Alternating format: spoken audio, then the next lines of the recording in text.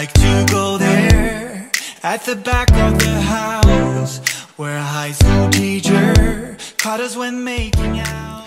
Guten Morgen, Leute. So, wir machen jetzt erstmal hier die Rollläden hoch und der kleine Finn. Guten Morgen, Schatz. Guten Morgen, Schatz.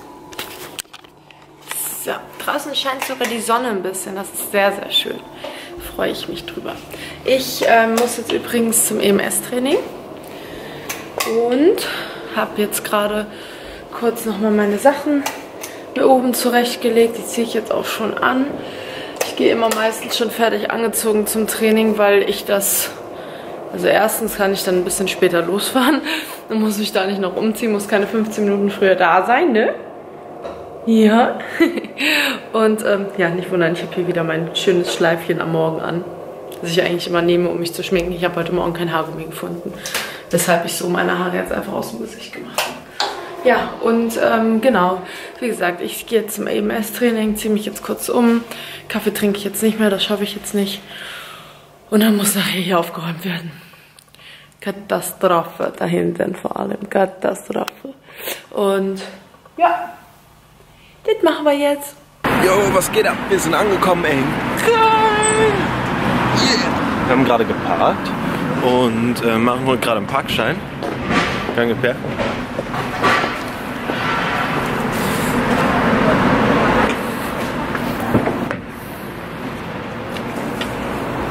So.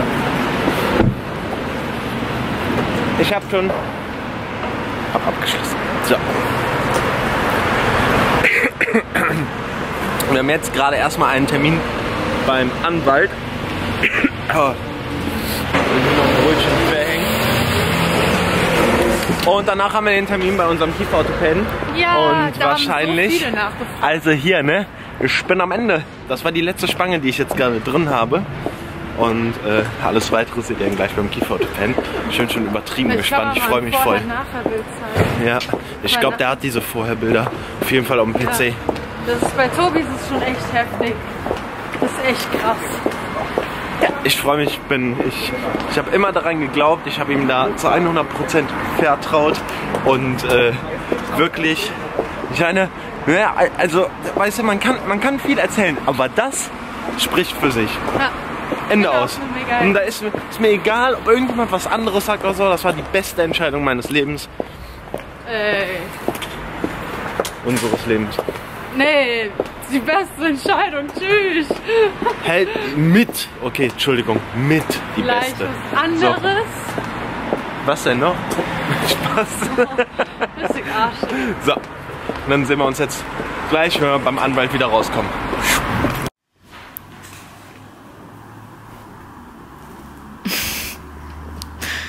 Sind gerade, ähm, Willkommen bei Cologne Smile. Will- was? Willkommen bei Cologne Smile? Angekommen. Achso, willkommen. ja.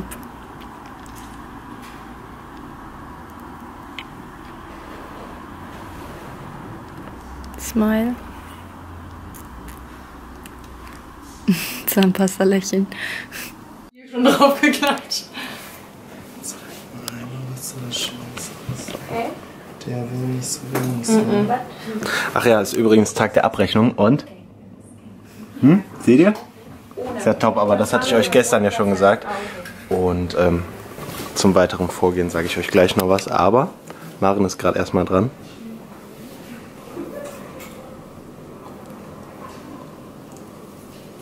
Einmal bitte zubeißen. Ich finde, ihre Zähne sind unglaublich schön. Super schöne Zähne, eine tolle Zahnfarbe hast du auch. Nicht schlecht, Herr Specht. Ah, die sind schon gelb geworden, ne? Wirklich das Mega Kaffee gelb, trinken. Nein, das Kaffee. Nein, ich meine schon gelb werden wollen, das Kaffee trinken. Das meine ich. Bleib mal. Ach, Quatsch. Also ich glaube, ähm, 99% der Bevölkerung würden sterben für so schöne weiße Zähne. Danke, aber Aber, ja, du nee, weißt. aber ähm, dieser, der Kunststoff, der nimmt eigentlich die Farbe nicht so an, aber so ein ganz ein bisschen Kaffee, Curry, Curry. Paprikapulver, solche Ja, das Sachen. ist halt das, was ich so liebe. Ja, es sollte das ja auch so sein. So, aber jetzt zeig mir nochmal den Problemzahn. Den muss ich mir nochmal anschauen. Nee, das holen wir jetzt ab, das Bargeld, Schatz. wir sind, äh, ja, immer noch in Köln äh, vom Kieferorthopäden raus und wir haben euch jetzt gar nicht mehr richtig gesagt, was jetzt gerade noch passiert. Und zwar der Retainer, also der Draht hinter den Zähnen, wird jetzt in Auftrag gegeben und wird in ungefähr naja, eigentlich wäre er in einer Woche fertig. Das Problem ist nur, dass wir in einer Woche nicht mehr da sind. Ähm, das heißt, wir werden jetzt, oder der Kieferorthopäde lässt jetzt für uns noch eine Clearing-Schiene, also quasi die, die ich gerade drin habe, nochmal herstellen. Eine davon, mit der wir jetzt drei Wochen nochmal quasi aushalten, bis Ja. dass wir wieder da sind und dann den Retainer bekommen. Aber das ist echt nur eine Schiene, die für den Übergang ähm, genutzt wird, damit ja. die Zähne nicht wieder sich verschieben.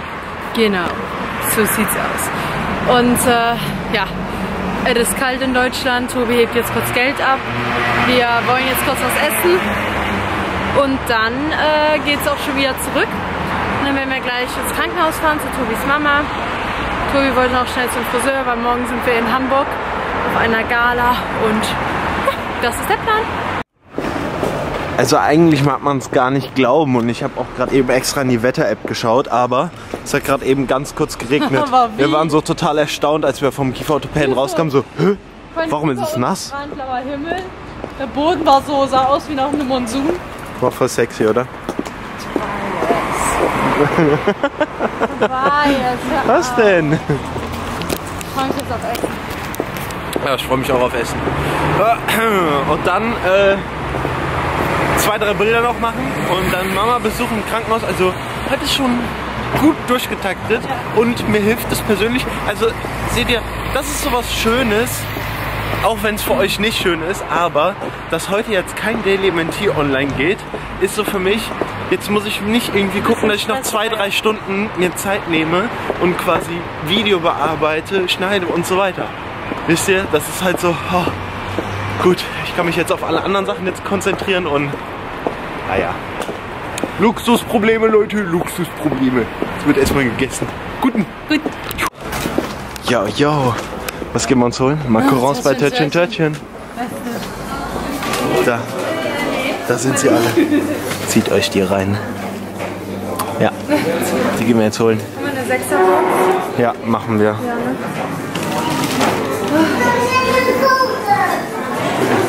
Mm. Mit diesem Honig scheint die Sonne auf der Zunge. Ja. Cool. So. Und jetzt gehen wir gerade über den Rudolfplatz zurück ins Parkhaus. Wir parken meistens immer unten im Barcello, also Steigenberger jetzt. Und ja. Ja. Ja, das war das ehemalige Hotel vorher. Und so langsam entdecke ich auch in den einigen Läden schon die Weihnachtsbeleuchtung. Guck mal hier, Joe Champs, die Sportsbar. So? Ja, die sind immer so früh. Nein, nein, immer so sind die nicht. Die Girlanden haben die noch nicht immer. Guck mal, denkt Adventskranz. Ja, ups. Ja, immer. Komm, ist grün. Hier ist wieder was los in Köln. Sehr gut. Tobi telefoniert gerade mit seiner Mom. Ich stehe hier mitten auf der Kreuzung. Nicht unbedingt, ich stehe sogar noch gut. Der da steht einfach total bescheuert. Ein halber Macaron drin. Hm. Bin auch schnell zum Friseur. Mm. Es ist leer. Geil. So, ihr Lieben, ich habe noch ein halbes Brot im Mund. Sorry. Ähm, ich war gerade baden. Oh, traumhaft schön. Wirklich. Was machst du? Ganz mir hinterher. Ich muss jetzt noch ein bisschen was hier machen. Mm, Ich mache jetzt nur noch schnell die Spüle und räume noch so ein bisschen Klarschiff einfach. Boah, ich war richtig warm baden. Ich habe das schon mal erzählt. Ich bin keine, dann könnt ihr mal in die Kommentare schreiben, wie ihr so drauf seid. Bei mir also für mich ist kalt duschen oder angenehm, du- nee, sagen wir mal so, angenehmes Duschen fängt bei mir bei 42, 43 Grad an. Und wenn ich wirklich richtig duschen möchte und baden möchte und das pure Entspannung für mich ist, sind wir da schon bei 46, 47 Grad. Also so warm muss das schon sein.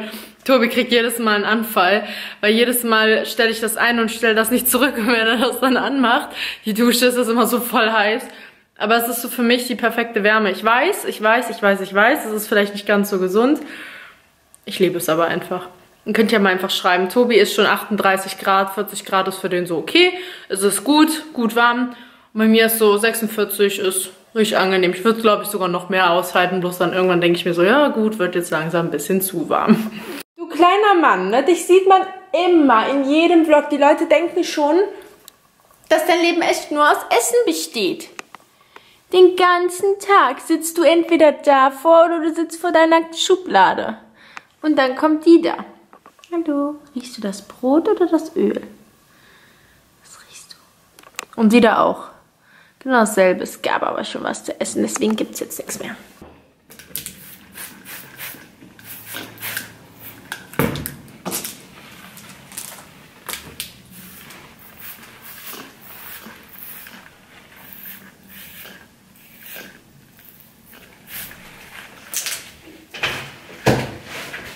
Hi Leute, so, wir sind wieder zu Hause. Die Maren macht ja gerade ein bisschen Bürokram.